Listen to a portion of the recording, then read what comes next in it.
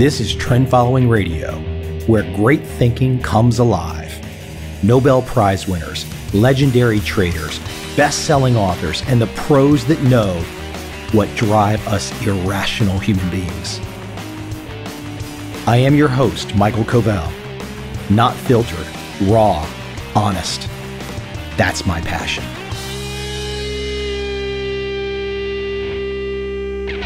Even though she met her untimely death, that woman could sure sing. And it puts me in another good mood. I've been in a pretty good mood my last few monologues. I mean, I'm always in a good mood. Sometimes I might sound a little rough around the edges. That song kind of calms me down. An interesting week of history for those of you that are not aware. The President of the United States has been in Asia most recently a tour down to Vietnam and up to Japan. He might be going somewhere else too, I'm not sure. Well, I happen to be in Vietnam right now, and I happen to have been in Vietnam when the president swung through. I actually also happen to have been in the location, the physical location where President Obama stayed for one night quite an interesting process. Quite an interesting process to see up close and personal. And I actually have the video and the pictures to prove it. But I was fascinated to watch the whole process of his entourage, the setup, all the people involved, the military. Boy, there is a serious amount of military on the ground that you never ever see just by watching the tube. But when you have a chance to watch, for example, and I did this, to watch and film for nearly three hours, the setup of his motorcade, what goes into all of those cars, who's in all of those cars. Well, let me just give you a quick rundown. It's basically a small army of either special ops or SEALs. And it looks like they could call for backup and have an even larger army on site pretty damn quick. And I have to say, my feeling being in Saigon, Vietnam, to see President Obama normalize relations, fully normalize relations, and people could argue why that happened.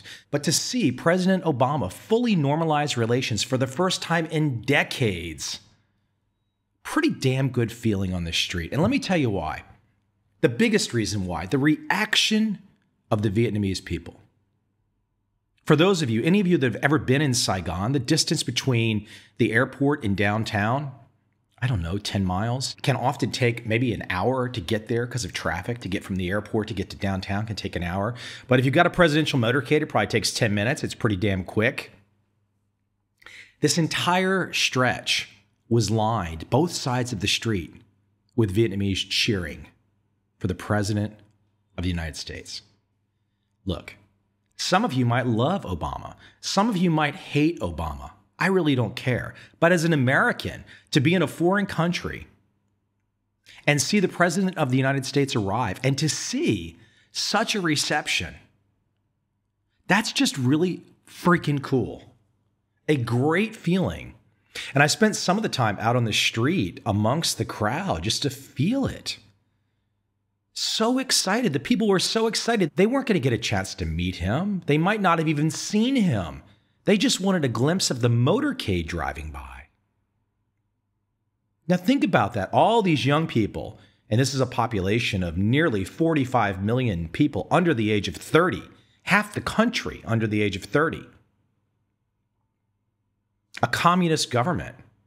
Now, think what you might about the communist governments out there around this world but I will have to say, whatever they call communism in Asia, to me looks pretty capitalistic. I've said this many times in this podcast. But to see all these young people so damn excited, so energized, and to think about where America sits right now, which is heavily divided, it's very hard for people to have an American feeling anymore. Even the things like Memorial Day and the 4th of July are basically fake. I mean, for all intents and purposes, no one really feels this American vibe anymore. Maybe we get together and we celebrate with friends and family, but it's not really a patriotic type thing anymore. But what I saw on the street here with the president of the United States driving through Saigon, Vietnam, was patriotic almost. It was just a fantastic feeling. I wrote about a few of these things on my Facebook.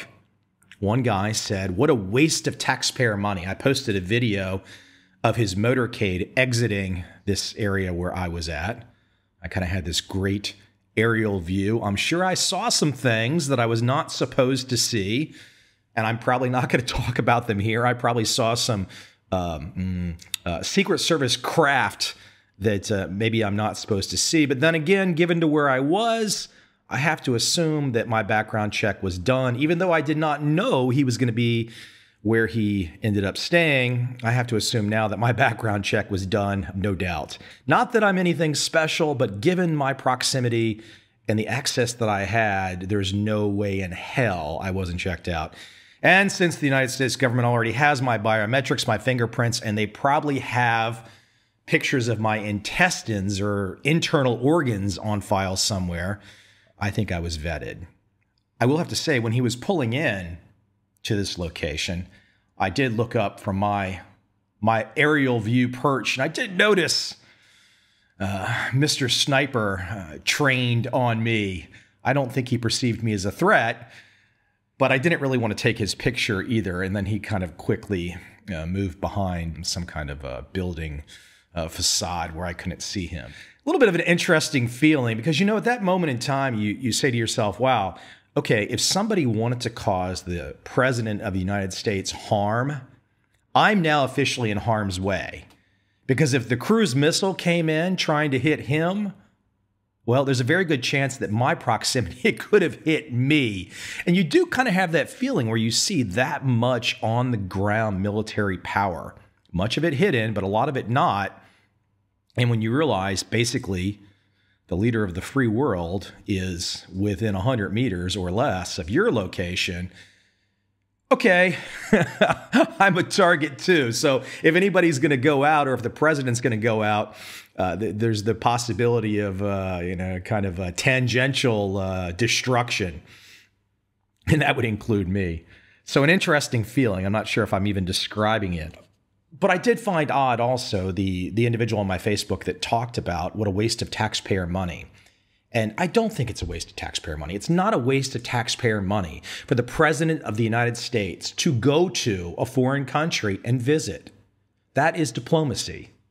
You have to do that.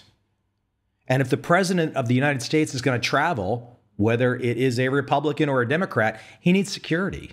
He needs a staff. It ain't free. So we can say it's a waste of taxpayer money, and then we can all just lock inside our borders and not go anywhere. So some of you out there might hate Obama, and some of you might love Obama. But for those of you that hate Obama, don't just say we shouldn't send the president of the United States abroad for diplomatic visits. That doesn't make any sense. Don't let your hatred of the man that is currently occupying the presidency blind you to what the job of the president of the United States of America is. And diplomacy is a big part of it. I want to add also that relations with Vietnam are fully normalized. This is one of the great wars for America, the Vietnam War. A lot of strife, a lot of struggle. 58,000 Americans dead. As the Vietnamese call it, the American War. They lost 5 million. For a country that was destroyed, I think 20% of Vietnam can still not be used because our ordinance pollutes the ground, unexploded ordnance, 20% of a country. And of course, Agent Orange killed much of their old growth forest, which will never be used again. Look, that's war. It's a dirty, messy, messy, messy thing. But Obama deserves credit for normalizing relations. He normalized the relations. I'm not somebody that shares, and you're going to find that out in a few minutes when I go where I want to go with the main thrust of this podcast. I'm not someone that shares this collectivist, government controlled, even socialistic mindset.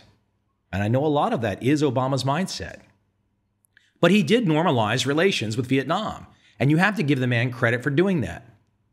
Somebody noted to me after I said that Obama deserved credit, they said, Well, why does he deserve credit? And my response is really simple Bush was president for eight years. It wasn't normalized under Bush. Like, let's stay factual on this, people. Obama normalized relations with Vietnam. That's a big deal. a big geopolitical deal, a big trading deal. Again, you can argue for the reasons why it was done, but it was done. It was done under Obama. He deserves credit, even if I don't like many of his policies. I want to make one final comment about this. All those people cheering, there maybe was over 100,000 people on the street cheering. This is cheering on the President of the United States, the country that killed 5 million of their people. Can you ever imagine a situation where Americans would be on the street cheering for the leader of the country that killed 5 million Americans in America? Can you imagine that happening? Well, I was thinking England, the king back in the day, you know, there was quite a quite a war there fighting to gain American independence. And now if they send the Queen of England to America, people will line the streets to try and see the Queen. I guess that's kind of similar, but not really. 5 million people killed. And look, this is no great pro Vietnam, pro America, pro anything. I'm just trying to say it was one of the best feelings I've ever had to be on the street, to see the presidential motorcade arrive, to see all these people cheering in a foreign country. Considering how hard it is to find patriotism and optimism anywhere. Damn nice. Damn nice. I really enjoyed it. I'm glad I had that experience. I probably won't have it again. And for all of you security, law enforcement types out there, uh, we'll have to have lunch or dinner one day because I definitely saw some things that uh, I was probably not supposed to see from my vantage, but it was thoroughly entertaining and interesting as hell to watch the nearly three hour prep to get the presidential motorcade moving onto its next stop. Really, really cool. So, after I offer all that praise, though, I do want to poke on some of the policy thinking that I really don't care for. Even someone like President Obama has some of these policies that I don't care for. And what I'm talking about are these more socialistic type policies. Because look, at the end of the day, what I'm about to present during this podcast doesn't make a hill of beans difference for you if you're trading or investing. Because look, we're trend following traders, follow the trend. That's the name of the game. Follow the trend.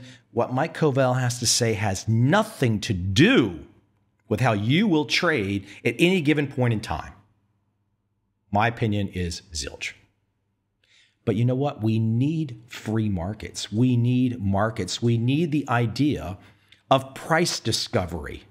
What we don't need is overwhelming government control.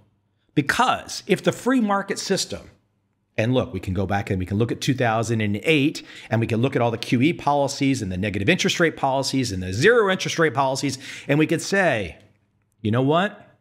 This really sucks. These aren't free markets. But guess what? Even non free markets trend. And if there's still liquidity, you can trade them. So complain as you might for how the Federal Reserve has engineered the US stock market since March of 2009. Who cares? It was very tradable, and there has been a lot of money to be made.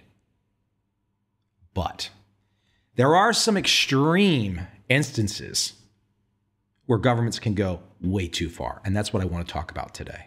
I want to talk about an instance where, and look, we have one presidential candidate right now running as an avowed socialist.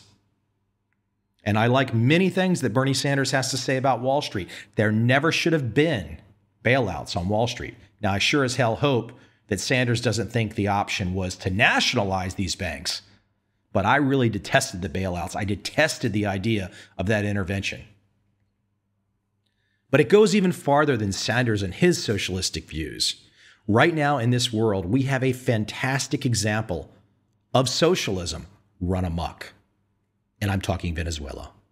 Essentially, a failed state an absolute failed state. And this was not a failed state. I can think back to about 15 years ago. I had several Venezuelan friends, and they had all left Venezuela. Their families, they had all left. They saw all of this nonsense coming, and they got out.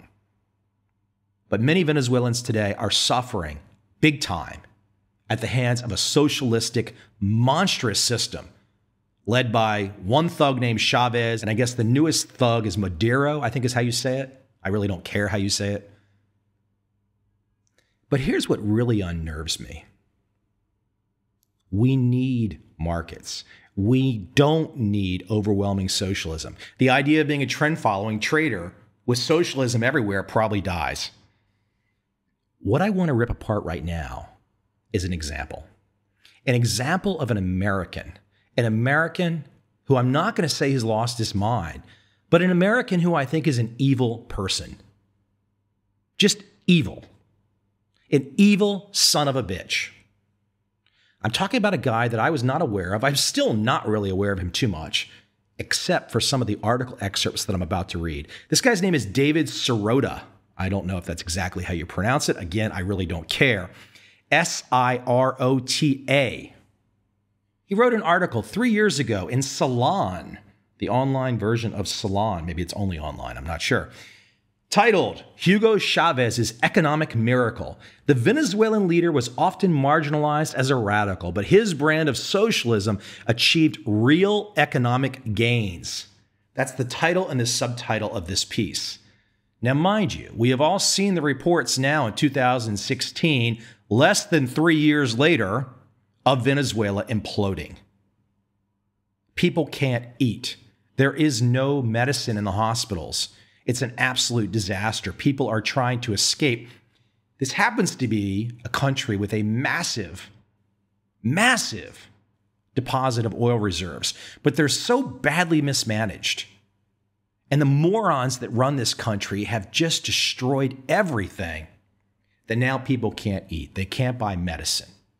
They're fucking around with the time, literally trying to change the time so the working hours are different so they don't have to spend as much money.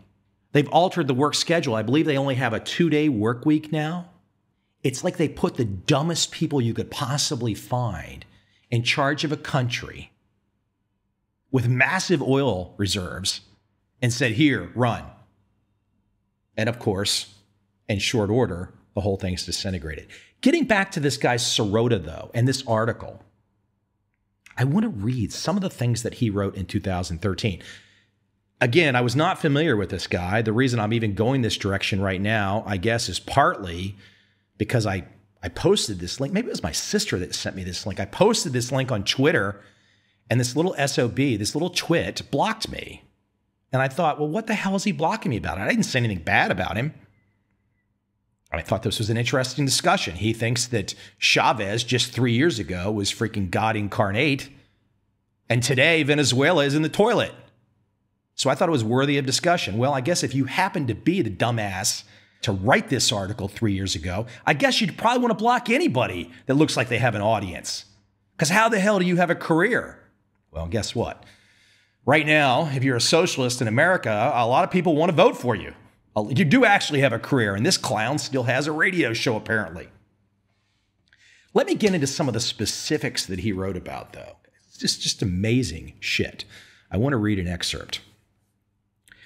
Chavez became the bugaboo of American politics because his full throated advocacy of socialism and redistributionism at once represented a fundamental critique of neoliberal economics and also delivered some indisputably positive results. Indeed, as shown by some of the most significant indicators, Chavez racked up an economic record that a legacy obsessed American president could only dream of achieving. This moron Sirota wrote this three years ago. Today, you can't buy food in Venezuela. Inflation is back at Germany levels during the wars. I mean, this is where we're at. Let me continue from Sirota. Again, this is three years ago. Think about how positive. I mean, this guy's just trying to find a way that he can sell socialism on America. And he goes to Hugo Chavez to do it. Continuing. For instance, according to data compiled by the UK Guardian newspaper, Chavez's first decade in office saw Venezuelan GDP more than double and both infant mortality and unemployment almost halved. Then there is a remarkable graph from the World Bank that shows that under Chavez's brand of socialism, poverty in Venezuela plummeted. The Guardian reports the extreme poverty fell from 23.4% in 1999 to 8.5% just a decade later. In all, that left the country with the third lowest poverty rate in Latin America. Additionally, college enrollment has more than doubled, millions of people have access to health care for the first time, and the number of people eligible for public pensions have quadrupled. None of that applies today. All of that's gone. Absolutely all of that is gone. Continuing from Sirota, when a country goes socialist and it craters, it's laughed off as a harmless and forgettable cautionary tale about the perils of command economics. When, by contrast, a country goes socialist and its economy does what Venezuela's did, it is not perceived to be a laughing matter. And it's not so easy to write off or to ignore. It suddenly looks like a threat to corporate capitalism, especially when said country has valuable oil reserves that global powerhouses like the United States rely on. I am not about to sit here and pontificate and tell you that I like crony capitalism. And David Sirota and I might agree. I have a funny feeling, though, that if he doesn't like crony capitalism, he'd rather go to national policies and he would have every damn company in America nationalized, run by a bunch of flunkies in Washington, D.C. So we radically, radically disagree on that. Again, the reason I dig through this, there will be no trend following, there will be no trading, there will be nothing if little twits like this get their hands on the power levers. Sirota goes on to say, likewise, in the United States, whose poverty rate is skyrocketing, are there any lessons to be learned from Venezuela's policies that so rapidly reduced poverty? He's asking this question three years ago. Today, Caracas, Venezuela is one of the most dangerous cities in the world. Yeah, lots of lessons to be learned. Sirota continues. And in a United States that has become more unequal than many Latin American nations, are there any constructive lessons to be learned from Chavez's grand experiment with more aggressive redistribution? More aggressive redistribution. That means if you have money, twits like Sirota, policies that Bernie Sanders would put into place, they're just going to take it from you. I mean, look, the Federal Reserve is going to take it from you right now, anyways. Zero interest rate policy, negative interest rate policy to come. These just take money from you, period. Zero interest rate because you, you can't beat inflation with zero interest rate. And negative interest rate, well, they're just telling you flat out, we're going to steal it from you every month. This guy Sirota concludes talking about the longtime caricature and marginalizing of Chavez but he says that's now dead. The cartoon will end. Maybe Chavez's easily ridiculed bombast can no longer be used to distract from Venezuela's record, and thus a more constructive, honest, and critical economic conversation can finally begin. oh, I love this guy. What a freaking. Let me continue with some of his response. In 2016, May of 2016, Sirota goes on to quote the economic advances of Venezuela in 2013. He says, amazing 2013 chart about Venezuela's economy under Chavez, but oil reliance later hurt the country. He also goes on to say, here I noted the dangers of Venezuela's reliance on oil, that reliance now killing the economy. So the way that Sirota now defends his laughable, idiotic, and basically designed to be false commentary in 2013 is to say in 2016, oh, well, they relied on oil too much and then things got mismanaged. So he uses the 2013 statistics in 2016 to justify it all and then concludes oh, well, you know, uh, they relied on oil too much, and that reliance hurt the country. And now it's all mismanaged and it's all in the toilet and it's all fallen apart. And I said, you know, back even three years ago, watch out for relying on oil too much. I'm not asking anybody to really care too much about this guy, Sirota. He's just an example, a tool for me to use to play with today on this podcast. I want to add to the conversation, though, because I read excerpts from his 2013 article. Let me talk about really where Venezuela is in 2016. And quoting from a UK paper oil accounts for 98% of total exports and 59% of fiscal revenues. But apparently, the price slide in oil, not the only problem. Quote Even under Chavez and $100 a barrel oil, debt was rapidly rising and there were already food shortages. This ultimately has to do with an interventionist model that is not sustainable and has reached a tipping point. The article goes on Many Venezuelans have already left the country. Venezuela has taken good working companies, given them to the poor, but not equipped them with the skills to run them, so they go bankrupt. The article goes on the whole thing is a recipe for destroying a country. As I mentioned earlier, Caracas, Venezuela, one of the world's most dangerous cities. Today, Venezuela, one of the most unfriendly places to do business in the world, ranking 186 out of 189 countries and the World Bank's Doing Business Index. You might say to yourself, how did this guy Sirota get this so wrong three years ago? He didn't get it wrong. It was painfully obvious what was happening in Venezuela three years ago. It had not yet hit the tipping point, but it was painfully obvious. This guy Sirota doesn't care. These guys like Sirota have masturbatory fantasies about legions and legions of DC bureaucrats managing your life. That's what this little clown dreams about nonstop. That's what he's for. So he just ignored everything because he wanted to push socialism.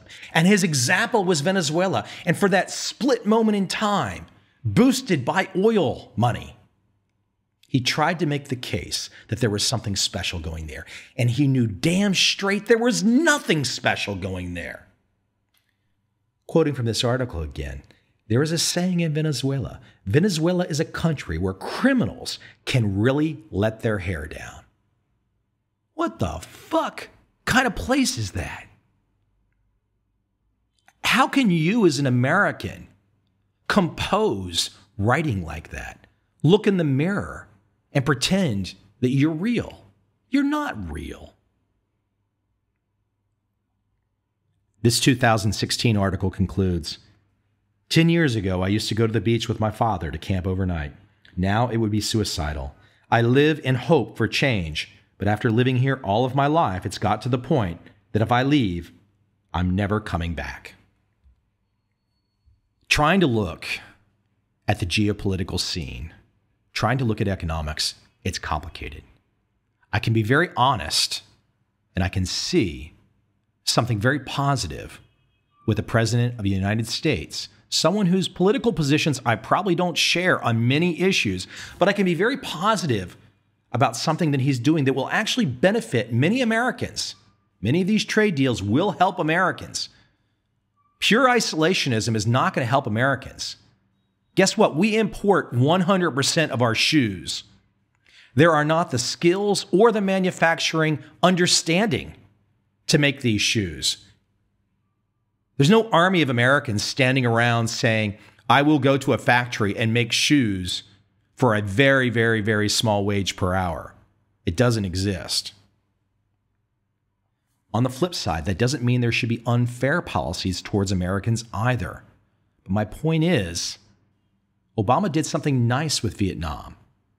However, when I break apart something like Sirota and his wonderful embrace of Hugo Chavez and Venezuelan socialism, his wet dream come true.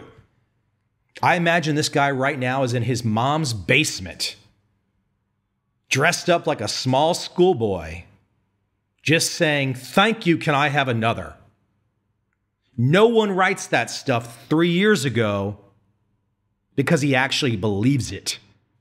He writes it because he has an agenda. That's all it is. That's all it ever is. As I've said throughout this podcast, these opinions are not designed to get you thinking only about trading. There is a right and a wrong way to go about life. There is a right and a wrong way for states to operate. I'm not saying America's perfect, but if we go the direction of Venezuela, we know what's going to happen.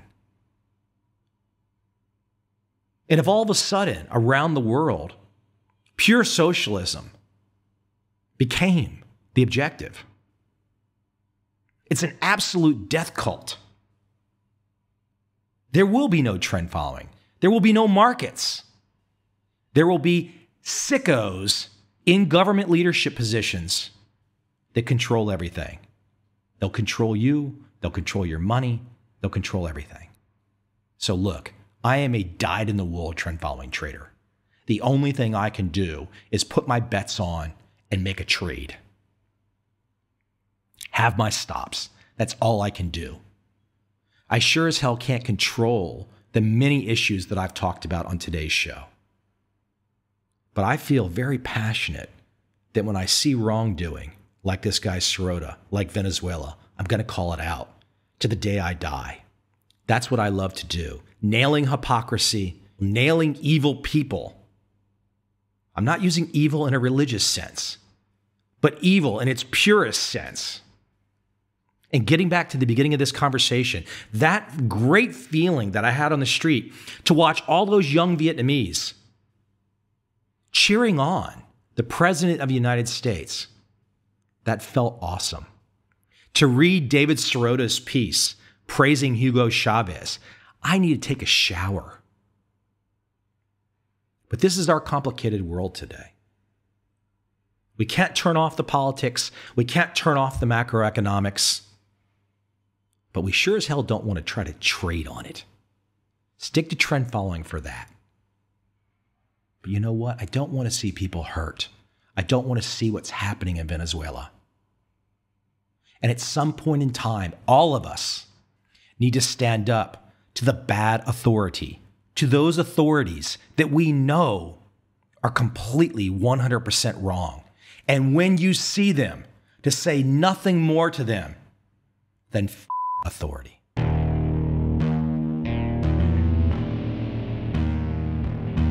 I see a time when those awake will understand how to make money in up, down, and surprise markets. Whether new trader or experienced, college student or financial advisor, protecting against a crash or just trying to make a lot of money, trend following offers everyone an answer in uncertain times. To get started immediately, send me an email, michael at covel.com. I will send you the right trend following steps to take along with my free video. But if you want to buy and hold, trust the government and trust Wall Street, this is absolutely not for you.